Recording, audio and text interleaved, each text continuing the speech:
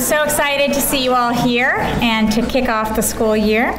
I want to thank uh, Dean Davies uh, and Kate Duval and everyone who made today possible, and also Dean Faulk and everyone in his office who brought you here to us. Uh, I look around today and it is more crowded than it was on Friday, and uh, so I realize that some of you were not here on Friday. And I hate to repeat myself, but I, I will say uh, I'm just going to repeat a little bit of what I said on Friday because I think it's important for everyone to hear. Uh, and so for those of you who are not here, I want to say it, which is this is a happy day, and I am so excited. We are all so excited that you are here. But this last week and the events of last week were not uh, how we wanted to welcome you, and I am profoundly sorry for that.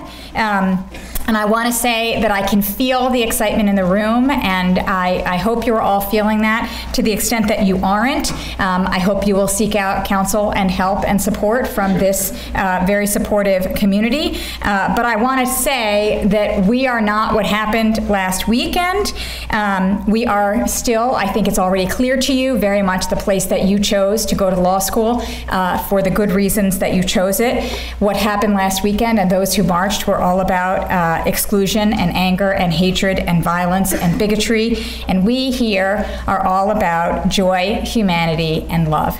So, we are all so glad that you are here, and we chose each and every one of you uh, to be here for your whole selves, who you are in all the different ways uh, that you uh, exist in the world, all the different places you come from, all of your different hopes and dreams. Every single one of you is a crucial part of who we are and what we do. I don't want you to forget that, and I want you to know that none of us will ever forget that. So, when I uh, think about our response as an institution to those events, I think that we respond both on the level of values and on the level of mission. And I talked on Friday about the values, how we reach across our differences to build community, to engage in respectful, empathetic dialogue, how we are one diverse, pluralistic, collegial community, and that this is one way for us to refute what happened last weekend, that we live our values, we all know we belong here, we own this community, we we respect each other, and we do it all together. We are in this together. What I say for today, and what I want to talk about at greater length, is how our very mission uh, refutes and undermines the hatred, violence, and bigotry of last weekend's events. Our mission here at the University of Virginia Law School is to educate you as lawyers, to educate you as the best, most exceptional lawyers you can possibly be. And as lawyers, you will have the tools, the power, the skills, and the mindset to push back against violence and injustice and to make real change in the world. When I went to law school, that is certainly what I had in mind. I went to history graduate school and law school at the same time. I really wanted to study how legal change happened, and I also wanted to think about how to make change myself. Uh, when I first started studying how legal change happened, I was very focused on the role that regular, ordinary people play in legal change. And let me just say this until about 10 minutes ago, you all in my book would have been regular, ordinary people, and no longer, no longer. Um, uh, but the, the very first paper that I wrote in law school that became my history history dissertation that became my first book was about African American teenagers across the South who were lured to Florida to harvest sugarcane during World War II and were virtually enslaved there. And the questions I wanted to ask about them was what happened to these teenagers? How did their parents argue for their release? Who did they argue to? What did they understand about their rights? What did they think could be done about the problems? These were important questions and they're questions that I still ask, uh, in, important to recapture their stories and the stories and lives of everyday people, their hardships, and the efforts that they made on their own behalf. But it quickly became clear to me as I started working uh, on my dissertation that their story did not end with them that once they made their complaints and wrote their letters and showed up at FBI offices, lawyers became involved. They complained to the Department of Justice and they complained to the NAACP. They complained to white lawyers and they complained to black, lawyers. And those relationships were key because the lawyers transformed their stories and transformed what could be done with their stories. The lawyers decided whether to take their cases or not take their cases. They decided what kind of arguments they would make about them. So the lawyers facilitated, mediated, and even sometimes thwarted the claims of the people who hoped to be their clients. I was already in law school when I realized that my work had to go from the regular people to the lawyers. And I, I have to say, it's embarrassing, but I was already in law school and I hadn't yet fully appreciated the power of lawyers. And that's the power that I want to convey to you today. That the power of lawyers is critical to the voices of regular people, it's critical to enabling them to achieve their goals, to change the world. It's not to say regular people don't make change, they do it all the time. We saw it here last weekend. Um, but I have come to think, and this is the calling I have, this is why I stand here today that what lawyers do to amplify and facilitate that change is just crucial. So I became a scholar of lawyers and not just of regular people and not just of the law. Cases exist because real people experience real harms that they think lawyers can help them with. So my focus has been on the power that lawyers, lawyers wield in response to those problems. I've since written a second book thinking about how lawyers saw a problem in the world that people brought to them that no one had thought was a legal problem and constructed it into a legal problem and then went about solving it. What is really striking about the lawyers that I study is that for the most part, they are not famous and they are not unique. I am not just talking about Thurgood Marshall or Ruth Bader Ginsburg. I am saying that all lawyers wield this power and all lawyers have the capacity to wield it all the time. So, what is this power? What is it that we are preparing you to do? We are preparing you to make law. Law affects real people, institutions, companies, nations. The law unlocks doors and it enforces contracts. It puts people in prison and gets them out again. It allows for treaties and it ends wars. It merges companies and it allows them to go bankrupt. And of course, the law doesn't do any of these things without lawyers. You are about to spend hours and hours a day. I heard about Dean Davies' schedule. It's a good one. hours and hours a day reading cases written by judges. And the judges don't often talk about what the lawyers say or how the cases came to them. But the law doesn't get to the judges pre made. People have made it for them before it gets there. And behind every case that you read are lawyers on both sides. The law exists as part of the larger world, as part of social life and politics and economics and the community and culture. The law is not found, sorry, the law is not found, it is made, and it will, I am happy to say, eventually, routinely, and momentously be made by you. So I am acutely aware that as a law professor of 14 years and as a dean of one, my job is to make sure that you all understand your power and that you are equipped to deploy it with integrity and responsibility. So how will that happen?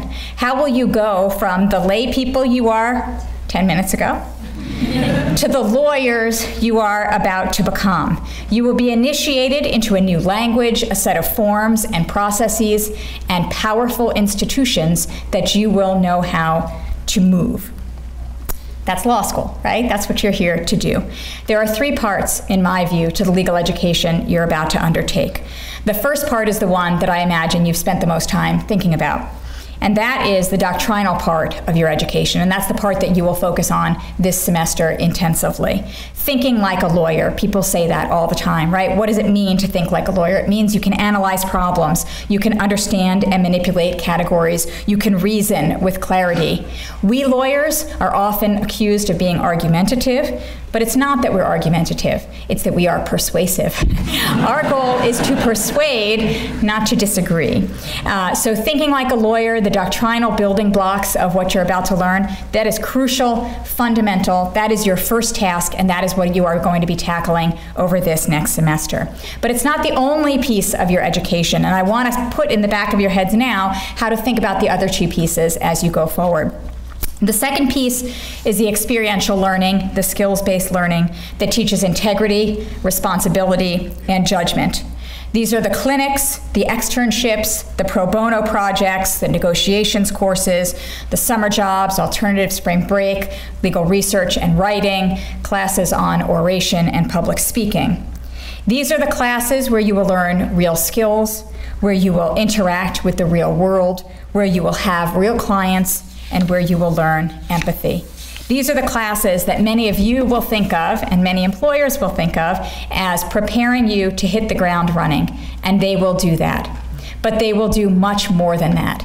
They will give you the soft skills that you need beyond critical thinking. There's the critical thinking, and then there's when do you make that slam dunk argument, right? How do you figure out when is the best time for someone to be able to listen? And maybe it's not now, and maybe it's later, and it's working with clients and working in groups of students and working with people in the world and real lawyers that will enable you to understand how to deploy the thinking like a lawyer skills that you have learned. The third part of your education will consist of courses in a wide array of, of scholarly perspectives that will foster big picture thinking that are so critical to leadership.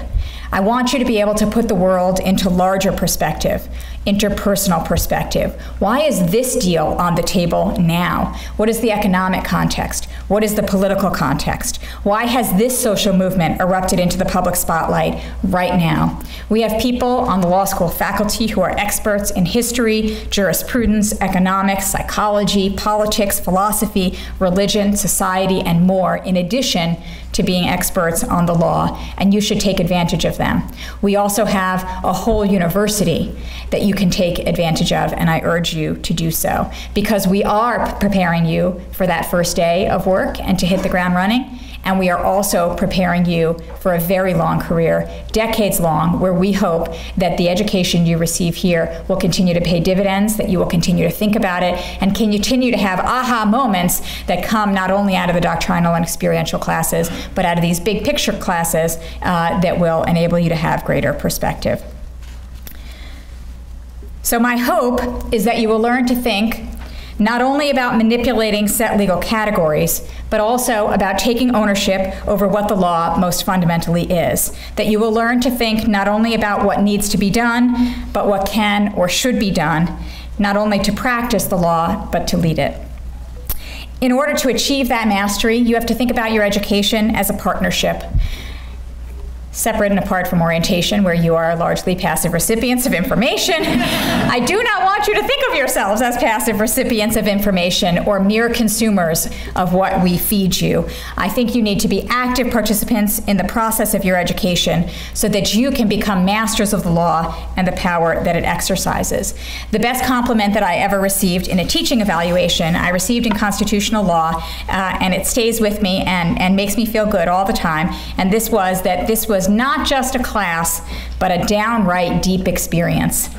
And I think that is what all of law school should be a downright deep experience where you learn and are challenged, where you challenge yourselves, where you seek ownership and mastery so that you can become the people who truly make the law. So if the law is power and you are being taught to wield it, there are two things that come with that opportunity and responsibility. So, first, opportunity. You can do literally everything and anything you want to be. I think what I, I, you have to dream big. I say all the time, and I, I say this about all the various th- things that we do in this law school. We are in the business of making your hopes and dreams come true. And that is so exciting. Uh, Careers are long and varied. Uh, Zane Memeger will talk in a moment about his own career. And life is long, and no two careers and no two lives are the same. And this is your chance, your opportunity to prepare yourself for the whole long, wide ranging career that will follow. And it will be amazing and it will be wondrous. And I know that, even if you're not sure even if you're sitting there wondering if you're in the right place and if you belong here, I, let me just tell you, you are and you do. And I know that because Cordel chose you. Uh, and I also know that, and you chose us, and I also know that because I know those who have come before you. I know those who clerk for judges and who practice in nonprofits or in government or in firms, who are the CEOs of hedge funds and the heads of legal aid societies, who are U.S. attorneys like Zane Memeger, who are judges and congresspeople and senators and presidents. You can even become, if you want, from this law school, a New York Times puzzle master like Will Shortz, who gave our graduation speech two years ago. But seriously, being a lawyer comes up comes not only with power and all of these choices, but also choices about how to wield that power. And this is the responsibility part. In what realm, on whose behalf, to what ends. For some of you, I imagine the events of last weekend will deeply influence your time here, how you think about that power and how you direct it. For others, I'm sure you've already come here with ideas about what you want to do, knowing where you want to head, and that will remain the same.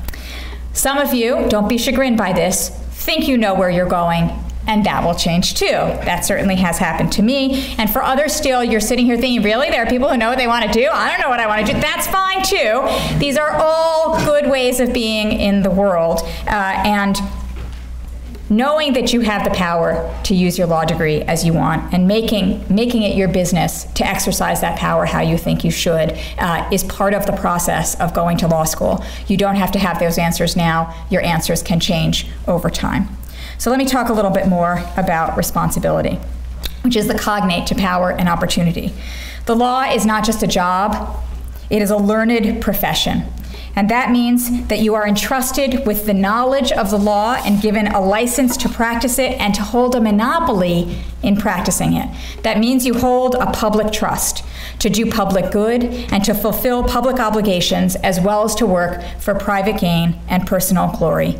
There are so many paths to fulfill that public obligation. There is no single path. But all paths flow through your understanding of yourselves as holders of this trust, as active participants in the law, and thus in the governance and leadership of American society and our larger global community. There is no better place than here to become this lawyer, this lawyer to access to every opportunity who understands the power of the law and exercises it responsibly. And that is true for all the reasons you know, all the reasons you read on our website, our fabulous faculty, our deeply impressive students, our amazing staff to guide you through this entire educational and professional process, and our incredible curriculum. It's a lot of adjectives again. Uh, but I really truly believe those things. I am excited about what you are about to experience. But it's more than that. It's that the faculty, the staff, the students, and our alumni are all engaged in a shared enterprise beyond the formal curriculum beyond the professionalization process. And this goes back to the values that I discussed earlier. We are all engaged in a shared enterprise that never loses the sight, loses sight of the importance of humanity, respect, and relationships to both the educational process and the workings of the law. In other words, becoming a lawyer is about what goes on both inside the classroom and outside of it. That you will emerge here a better lawyer and a better person, a lawyer with judgment, perspective, imagination, dignity, integrity, empathy, and leadership. I've long felt the privilege of teaching law at this law school for those very reasons, and I feel it even more as dean. My son asked me uh, as I was uh, going through the dean uh, search process uh, when we were walking down the halls one day, and a student said hi to me if that was my student, if he was one of my students. And my initial instinct was to say no, uh, because I hadn't actually taught that student. And I paused. Actually, this was after uh, after the process was over, and I already knew I was going to be dean, but wasn't dean yet. And I paused and I said, you know what? That was the wrong answer. Um, they're all my students. They're all my students now. And that is how I feel about you, and I hope you know that. Uh, I have met many of you already, but not all of you, and I'm excited uh, to call you my students and for, uh, uh for you to know that I am here as your dean. Um, I'm sad that I cannot call Zane Memeger my student, uh, but I am proud to call him one of our own and to call all of the UVA family our own. People sometimes laugh at me when I talk this way. My kids say I'm like Leslie Knope in a good way. Um, and my husband jokes that I love lawyers. Many of you have met my husband, and uh, he likes to joke. Uh, and he would know that I love lawyers since he's one, and I married him, so it's true. Um, uh, but I will say that after more than a decade of being a lawyer, of teaching lawyers, of writing about lawyers, and now leading an institution where we educate the best and the brightest lawyers, I think I know lawyers pretty well. And I do love lawyers. And I have a pretty good feeling about all of you. It's not just love, it's also faith. And I know this is hokey and makes me sound like Leslie Knope, but I believe in lawyers, and I believe that being the dean of this law school is both a privilege and a responsibility. I believe in the power of the law, and I believe in a legal education that prepares you for every opportunity you can imagine and every responsibility you will encounter. I believe in you. My 15 years at this law school have only reinforced uh, and reaffirmed my beliefs and my witnessing the events of last weekend and my determination that they should not ever occur again and my hopes about the lasting change that we will make in the world together in their wake reconfirm that this is a very special place to begin what I know will be truly incredible, life changing, successful, and meaningful careers. And I welcome you to the UVA family. Thank you.